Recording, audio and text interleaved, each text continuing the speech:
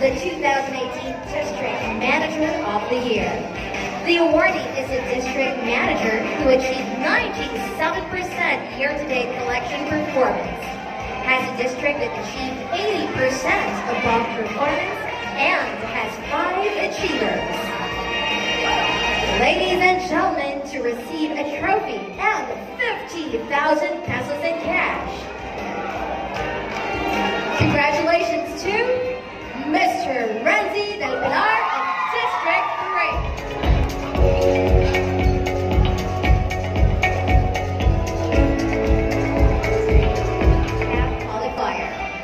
product champion will receive a trophy and 5,000 pesos in cash for every product.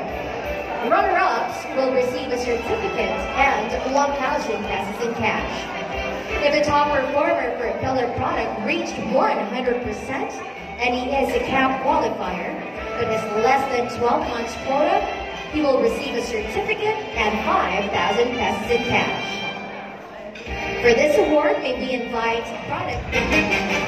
Once again, congratulations, District 8.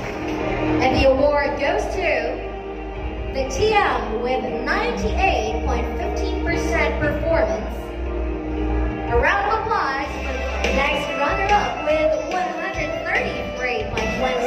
133.27% to receive a certificate and 1,000 pesos in cash.